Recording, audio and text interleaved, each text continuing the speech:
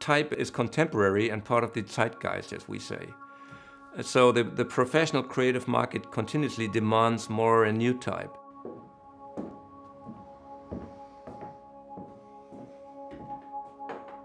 Without type, we wouldn't have any culture. No science would be possible, no technical knowledge, no development in society. Everything is written down. And to write something down, you need a typeface for. In my thinking, it's an essential part of democracy that you have access to information. And this is connected to type, to printing, to reading, to all that. And uh, without access to information, you are not free.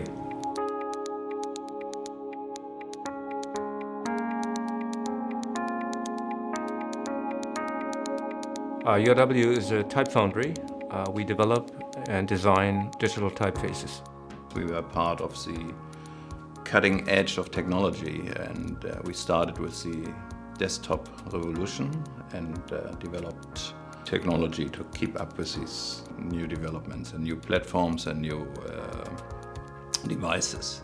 We are one of the very few foundries left from the pre-PostScript area. And uh, Jürgen, my partner, Volker, our chief designer, and myself combined more than 100 years of experience in, in type design and type technology, uh, which is different from other foundries, I believe.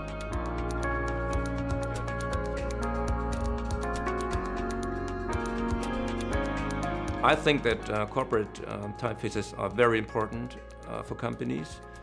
It's part of the corporate design, and as such, it helps to define the corporate image internally and externally.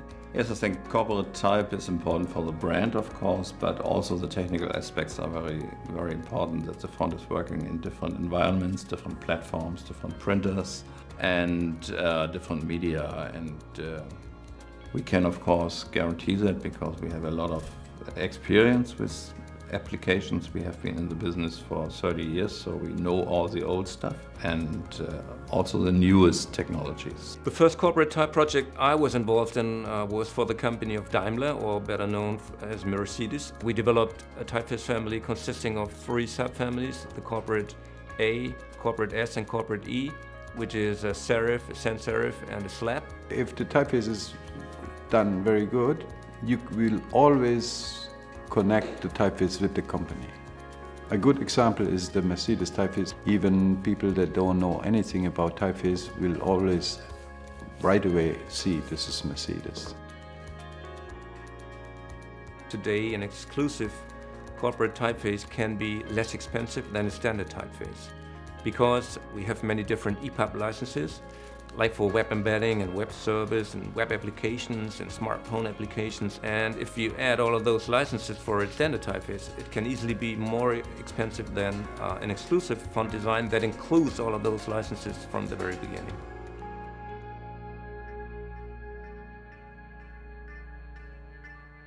URW is best known for uh, its skills in type technology, actually.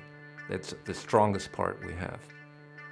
IKARUS is our main uh, font production system, which was invented by URW in 1978, and uh, it's still uh, one of the most powerful production systems and uh, design systems which you can find.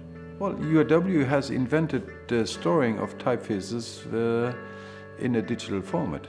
This was not possible before. Before, everything was done by photo. You know, you, you had to hand draw everything on a, in a huge size, very exact. And then this was photographed and then put in onto glass uh, glass scheiben and then uh, this made it possible for printing. We have introduced many techniques which are used for rendering type, which are used for modifying type, uh, we have invented uh, multiple master and interpolation, we have invented auto tracing, and we have invented uh, rasterization. And these are all techniques which are essential part of any font architecture today. We have been um, very busy in the area of developing global fonts for the last decade, or a little more actually. Uh, that is uh, building fonts with up to 65,000 characters, including all of the non-Latin scripts of the world. A global font is a font which supports many languages, which allows to interchange documents between many, many different countries. For instance, our customer Siemens has 80,000 different products which are sold throughout the world. For them, it's imperative that all of those uh, languages are part of the, the fonts we supply for those products. The production of non-Latin scripts is far more complicated than the production of Latin fonts. In Latin script it's very simple. You type ABCD and you see ABCD.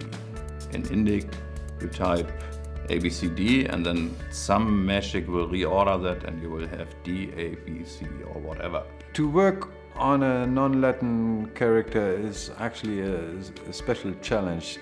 To some extent you cannot decide if it's correct or not.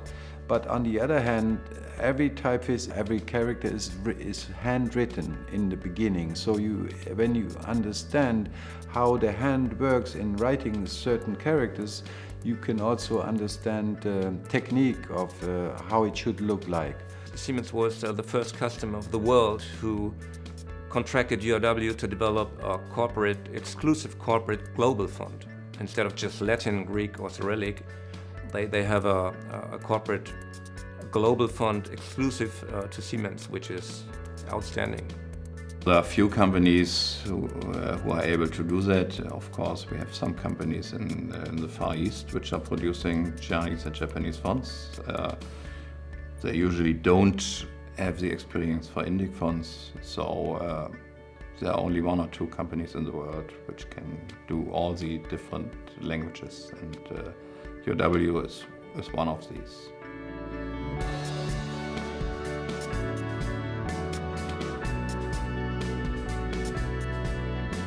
URW is of interest because of the international team we have, which is a good mixture of experienced and young people, very talented designers and font technicians. After all this 30 years of uh, working in this field, it's uh, still interesting and still fun because of all the new things which are uh, happening every year and uh, keeps us busy and keeps us young, I hope, and uh, well, let's have some fun. To develop true um, corporate global typefaces, that's a big challenge. It is a challenge, yeah, but it works.